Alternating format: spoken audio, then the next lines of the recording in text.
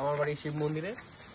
আর দু হাজার চব্বিশের চব্বিশে আগস্ট আমার রেস ছিল লাদাখে, ছশো কিলোমিটারের। আমার যে ক্যাটাগরি আঠেরো থেকে উনপঞ্চাশ সেখানে পাঁচজন টোটাল ক্যান্ডিডেট ছিল। তো আমি ফাইনালি সেটা ফিনিশ করতে পারি। সত্যি খুব টাফ ছিল বাট ইম্পসিবল ছিল না। টাফ ছিল এই কারণে যে লেতে শুরু হয়, রেসটা লে ছিল তিন হাজার পাঁচশো মিটারের মতো উঁচু। তো সেখান থেকে শুরু হয়, প্রথমে দশ কিলোমিটার ডাউনহিল ছিল। আর লাদাখে ডাউনহিল মানেই টেনশন চলে আসে যে আবার আপিল করতে হবে, আবার ক্লাইম করতে হবে। তো দশ দশ কিলোমিটার ডাউনহিল করার পরেই আবার ক্লাইম শুরু হয়ে যায় বারো কিলোমিটারের। আর ওইখানকার ক্লাইম আমাদের এখানকার ক্লাইমের মতো এত সহজ না আর কি। এখানে যেরকম প্রচুর অক্সিজেন আছে, সেখানে অক্সিজেন নাই, যার ফলে অনেক কষ্ট হয় ক্লাইম করতে। তো ক্লাইম টাইম করে প্রথমে আমি যখন একশো কিলোমিটার কমপ্লিট করি তখন প্রথম একজন যে পার্টিসিপেন্ট সে গিভ আপ করে দেয় আমার সামনে। বলে, আমার দ্বারা হচ্ছে না, আমি পারব না, আমি আর যাব না। তো দেখার পরে একটু খারাপ লাগছিল যে ও পারছে না, আমি কি করে পারব? আর যে গিভ আপ করে সে অনেক বড় রাইডার ছিল। সে অনেক প্যারিস প্যারিস ঘুরে ফিরে আসছে। তো আমার টেনশন হচ্ছিল যে আমি কি করে কমপ্লিট করব। ঠিক আছে, চলো খাওয়া দাওয়া করে আবার বেরোই। বেরোনোর পরে আবার একশো কিলোমিটার যাওয়ার পরে ফটুলা ক্লাইম আছে, চার হাজার একশো আট কিলো, আট মিটারে উঁচু। সেখানে গিয়ে আরেকজন যে পার্টিসিপেন্ট ছিল, সে আবার গিভ আপ করে দেয়। বলে, আমার দ্বারাই হচ্ছে না আমি খুব অসুস্থ ফিল করছি, তো তুমি যাও, আমি এখানে বসে থাকব। আমি ওর জন্য অনেকক্ষণ ওয়েট করলাম, আধা ঘণ্টা, এক ঘণ্টা ওয়েট করলাম, না, চলো একসাথে যাব। ওর, ওকে খাওয়া মানে খাওয়া দাওয়া করালাম লাঞ্চ করালাম, তারপরেও দেখি না, ও যাবে না। তারপরে আমি ওকে ফেলে চলে যাই। যাওয়ার পর নামিকলা ক্লাইম আসলো, ওটাও অনেকটা উঁচু, তিন হাজার নশো মিটারের মতো উঁচু। সেটা আমি আস্তে আস্তে ক্লাইম করি। ক্লাইম করার পর সন্ধ্যাবেলা আমি কার্গিল পৌঁছাই। কার্গিল পৌঁছানোর পর আমার যে হোটেল ছিল, সেটা আমি হারিয়ে ফেলি। কোথায় ছিল হোটেল? সেই হোটেল খুঁজতে গিয়ে আমার আরও অনেক সময় নষ্ট হয়ে যায়, আধা ঘণ্টার মতো নষ্ট হয়। একটা হোটেল পাওয়ার পরে সেখানে যারা ছিল হোটেলে, তারা বলছে, তাড়াতাড়ি চলে যাও, কারণ তোমাকে দ্রাস যেতে হবে কার্গিল থেকে।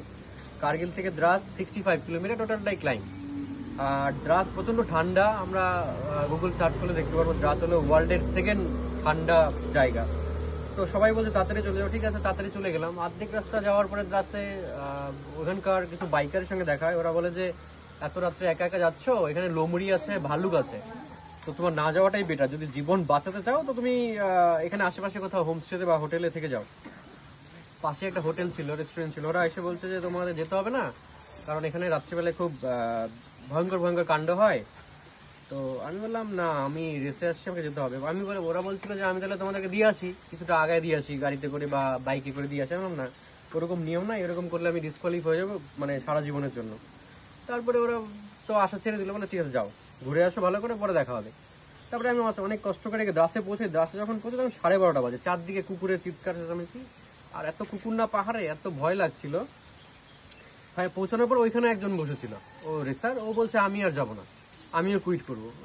এই কি জ্বালা? সবাই দেখি কুইট করে যাচ্ছে একের উপর এক চোখের সামনে। তা আমারও টেনশন হচ্ছিল যে আমি কি পারব কিনা পরে মাথায় চিন্তা আসলো, না, আমি তো পার্সোনাল লোন নিয়ে আসছি। আমাকে কমপ্লিট করতেই হবে। যাই হয়ে যাক। বাকিরা তো স্পন্সর বা বিভিন্ন সেভাবে আসছে। আমার তো এরকম ব্যাপার না, আমি লোন টোন নিয়ে আসি তো যাই হোক, আমি টাইম লাগুক, বেশি লাগুক কমপ্লিট করবোই। তো ডাস থেকে আমি বেরোই বন্ধুটাকে নিয়ে যে ওখানে কম মানে কুইট করার প্ল্যান করছে। ওকে বললাম, ও বলল, ঠিক আছে, চলো। অর্ধেক রাস্তায় এসে রাস্তার মধ্যে ঘুমায় পড়ল। সাইকেল চালাতে চালাতে ঘুমায় অন্যদিকে চলে গেল। মানে সাইডে চলে গেল আর কি। ভাগ্য ভালো, পাহাড় ছিল, ওখানে গিয়ে পড়ল। ঠিক আছে, ও, ওর জন্য আবার ওয়েট করলাম, ও ঘুমালো এক ঘণ্টা। আমি বললাম, ঠিক আছে, চলো তারপরে যাব। ঠিক আছে, চললাম আবার। আবার আধা ঘণ্টা চলার পরে আবার ঘুমায় পড়ল। ঘুমায় পড়ে বলল আমি ঘুমাবো, আমি যাব না। আমার দ্বারা হবে না, তুমি যাও। আমি বললাম, না, চলো, এত রাত তখন রাত দুটো, তিনটা বাজে। এত রাত্রিবেলায় কিচ্ছু নাই, গাড়ি ঘোড়া কিচ্ছু নাই, অন্ধকার। আর পাশ দিয়ে একটা নদী আছে শুরু বলে, আর নদীর সে চিৎকার মানে প্রচণ্ড জোরে আওয়াজ হচ্ছিল। তারপরে ওর সঙ্গে থাকে। ও যাবেই না কিছুতে। ওর জন্য ওয়েট করতে করতে ওকে তেল দিতে দিতে তারপরে লাস্টে রাজি হলো, যাব, হেঁটে যাব। আমি সাইকেল চালাবো না, আমি হেঁটে যাব। ঠিক আছে, হেঁটেই চলো। তাও চলো। তারপরে হেঁটে আস্তে আস্তে অর্ধেক রাস্তা পর তখন চারটা বাজে সকাল। ও বলে না, আমি আর যাব না, আমি আবার ঘুমাবো। আবার ঘুমালো। ওই জন্য আমি আবার ওয়েট করলাম। আমি তো ঘুমাই না, আমার ঘুম আসে না। তারপরে ফাইনালি আমি ছটার সময় কার্গিল এসে পৌঁছালাম চেক পয়েন্টে তারপরে ওখানে এসেই প্রথমে ম্যাডাম ওখানে তিন ঘণ্টা ম্যানেটারি হল ছিল।